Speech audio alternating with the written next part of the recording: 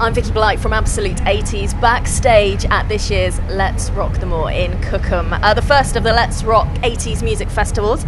And fresh off stage, I'm joined by Dr. Robert from the Blow Monkeys. Hello. Thank you so much for joining me in this very hot greenhouse My that pleasure. we're in. My pleasure. Um, you've just come off stage. What the crowd like this year? The crowd, um, they seemed very up for it and um, sort of uh, thankful and joyous that it's, it's a lovely day. I think that's part of the deal on these things. Is you turn up and if it's horrible, then it makes it quite grim. But it feels like it's a good one. It's uh, a relief, I think. Everyone's Yeah. face is just like, it's going to be amazing, the sun's out. Yeah. Um, early doors is, is your kind of normal routine. Are you usually up by this, this time? Are you out of bed by this time? Or Uh, is it a bit of a stretch to get the band warmed up and ready? Uh, well, these days I do get up quite early, but I'm not used to sort of going on stage at 12 o'clock and singing and doing all that. Um, it, it, did feel quite early and it felt quite strange, but um, I, I enjoyed it nonetheless. Yeah. Back in the day, um, when you were doing things like, you know, breakfast radio and just sort of dropping in, did you do much of the kind of performing live in the studio and having to do it at weird hours? Yeah, we were always doing that, and I, I always, I always tried to. Um, I always took my acoustic guitar along whenever I did an interview because in the early days I wasn't very good at talking, and I much prefer to sort of let my music do the talking. So I would try to squeeze in and say, "Well, I'll, I'll do a song if you like, you know, whatever." So, um, but yeah, you know, you get used to the weird hours. Yeah, Any tricks of the trade? uh, none that I could really repeat. Brilliant. Uh, now, you released your new album uh, Yeah. this year, Yeah. and it's called If Not Now, When. yeah. Um, how's the reaction been from sort of true fans, fans from the very start, from the beginning of the 80s? How has your core audience reaction been to that album? I bet they just Well, my were so ready loves for it. it. That's the main thing. That's one. That is That's the main one. thing. Um, well, I mean, since we got back together six years ago, whatever it was, you know, um, that's the fourth new album we've done. So for us, it was about making new music. Obviously, we, we, we have our whole past and we have that whole thing, but um, I wouldn't want him to do it if it was only about that. So the reaction to the new record's been really, really positive. Probably the best of any of the new things that we've done. And it's quite a radical departure for us as well. It's kind of back to some of the things that turned me on when I was a teenager sort of um, early sort of glam things and early rock and roll and stuff like that. So um, yeah, I'm really pleased with the way it's going. Um, if you were going to kind of pluck some influences out from those um, sort of glam days, uh, who were you kind of wanting to reconnect with on this album? Well, I, uh, the first thing that opened my eyes to the whole world of music was Marc Bolan, and that was when I was about nine or ten.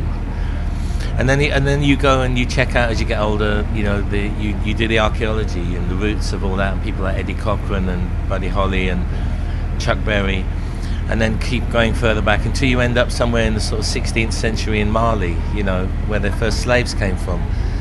So there's a whole lot of you know lineage. There's you know, a, we're all- there's a lot of stuff to pick we from. just yeah. just yeah we're just we're just cogs in the wheel really And what about new fans? Um, have you found that people have discovered you for the first time, or maybe know digging your scene, and then have, have picked up the new album and thought, actually, this is very different. I wasn't expecting it. well you don't you don't in touch. I, I mean I, I noticed that we have some young people coming to the gigs like we played a tour recently and it, was really well attended. Most of them sold out. And I would say that there was sort of 30% of that audience were was sort of under 30 which is what I call young. So uh, and I think well that's good. They're either their parents have told them about them or they've discovered us through this or that. And they and I, so I did talk to some of them and they've heard bits that we've done on radio new things and related to it and they didn't even know about the history which is kind of you know I like that when you were writing the new material, I mean, you say you've done four albums since reforming. yeah Um, were you writing it for a new audience? Were you trying to kind of move away from the Not past really- successes? To be honest, no. I don't really write for the audience. I always write um, to try and um, to try and improve. I mean, I know that sounds stupid after sort of 25 albums, or whatever. If you, but it's um, it's always trying to trying to do better and trying to be a better songwriter and trying to excite myself. I, d- I don't think that if if it doesn't turn me on, then it's definitely not going to interest anybody else. So it's always about trying to create new ground somewhere. Um, you mixed the album up in Liverpool, is that right? Yeah. Um, and popped along to do an acoustic set at a very iconic venue in Liverpool. You, Yeah. You did the Cavern Club, didn't you? Yeah. How did that come about? What was it like? Well, I've got some friends in Liverpool who, uh, one of the guys um, organises an open mic night there, and um, Ian Prowse from Pele, and he he said, look, just come down. You know, uh, whenever anybody's in town, we ask them to come along. There's only one rule: no cover versions. So I just sat in there in the in the and waited for my little turn. excuse me, until they called me up. It was a great night. It was uh, Liverpool is such a uh, a music town. I mean, it really is. You know, it's not a, it's not a posy place. It's not a fashion place. music just seeps out of the place, even when you're walking down the street. Or the buskers are the best buskers I've ever seen. You know, so it was fa- um, it was great. I just did three songs and um, and sat back and listened to the poets and the musicians of Liverpool. It was brilliant. And of course, it was a buzz to play the Cavern. That's uh, incredible, yeah. incredible.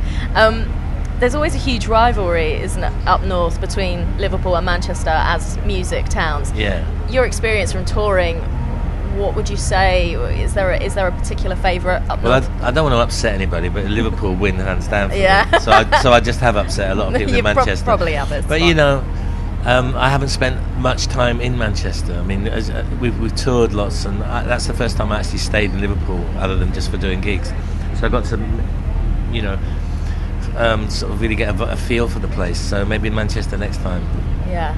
Get into the uh, fabric of the city yeah. as well. That's the thing. When you, I guess you know you roll in, you do a gig, you roll out again. You don't spend particularly long amounts of time in cities. Not normally, no. Although these days, you know, we because you know I don't drink or do anything anymore, so I have more time on my hands. I tend to sp- find myself in museums and libraries and, and, and, yeah, yeah, just you know doing different things when you travel, just trying to take it in. Um, what's been your favourite city to perform in, in terms of when you think back over all of the Blow Monkeys gigs, those standout performances, the ones that you you know you'll always remember, they're your fondest memories. Can you take us through a couple of those? Um, well, my favourite t- ever venue was Barrowlands at, in Glasgow, just because it's it's um, there's something about that crowd in Glasgow. They just go they go mental, you know. And the dressing room is below the stage as well, and you can hear people sort of stampeding on the on the roof, and, and, and you know it's just it's, a, it's an amazing atmosphere. And of course, I was born in Scotland. You can tell from my accent, of course. but um, I was born in Scotland, so I have a real affinity with the place. And Glasgow is definitely my favourite. Uh, you know, of all of them. You mentioned your crazy days are possibly uh, gone. Did not I? drinking anymore, Okay. that kind of thing. Um, how's the how's the tour bus changed from the 80s to now? What's, what are the big differences? Well, the main difference is that people are not hungover uh, because I don't think any of the band drink particularly anymore or do anything. And whereas we would uh, sort of we would laugh at the in the previous times about what we'd done the night before, now we get the crossword out. Um, Bit of Sudoku. yeah, uh, no, the Guardian crossword. but we give it to Mick, our bass player, who's slightly um, dyslexic, because it gives the crossword another dimension. It lasts longer that way because he can't spell. I'll tell him you said that. Yeah, I've- um, I've it's, told it's been really nice to chat to you, Dr. Robert at Let's Rock the Moor. Cheers.